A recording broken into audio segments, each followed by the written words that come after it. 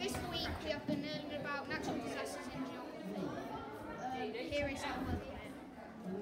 Um, a, a flood is where um, there's so much rain for a couple of days and it just overflows in riverbanks, rivers and oceans. Um, a tornado, no, an earthquake is where the ground, the tectonic plates underground starts uh, rubbing each other and the, the surface of the ground um, shakes. Um, a tsunami is where um, it's caused by an earthquake or um, an underground volcano. It, it creates a big wave of water and flows through cities. A drought is where the earth is too dry and starts to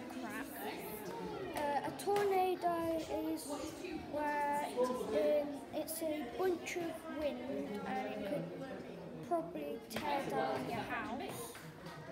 A volcano is where um, lava erupts out